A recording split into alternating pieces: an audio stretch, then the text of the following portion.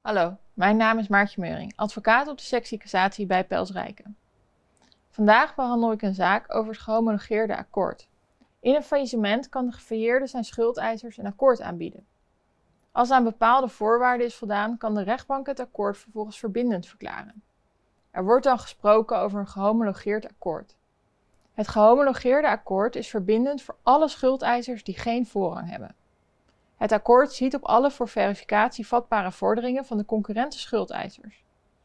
En als deze vorderingen als gevolg van het gehomologeerde akkoord onvoldaan blijven, zijn deze vorderingen niet langer afdwingbaar.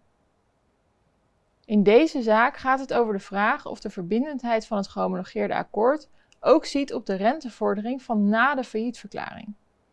En dat is van belang voor de vraag of deze vordering na beëindiging van het faillissement nog afdwingbaar is. Op grond van de wet kan de rente van na de faillietverklaring door concurrente schuldeisers niet worden geverifieerd in het faillissement. Dit houdt verband met het fixatiebeginsel. Schuldeisers kunnen in het faillissement opkomen voor het bedrag dat zij te vorderen hebben op het moment van de faillietverklaring.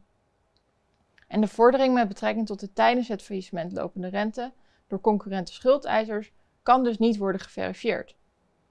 En dat betekent dat deze vordering niet valt onder de verbindendheid van het gehomologeerde akkoord.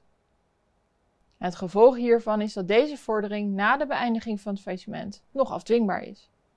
De Hoge Raad benadrukt geen grond te zien om toch te beslissen dat de verbindendheid van het gehomologeerde akkoord ook ziet op tijdens het faillissement lopende rente. Dat zou namelijk afwijken van de tekst van de wet en van de wetsgeschiedenis. Bovendien zou zo'n beslissing ook gevolgen hebben voor de afdwingbaarheid van de rentevordering van concurrente schuldeisers. En dat roept de vraag op of het belang van deze schuldeisers bij de afdwingbaarheid van die vordering op enige wijze bescherming verdient. Het is aan de wetgever om hierover keuzes te maken en daaraan uitwerking te geven op een wijze die past in het stelsel van de faillissementswet. Dit gaat de rechtsvormende taak van de Hoge Raad dus te buiten.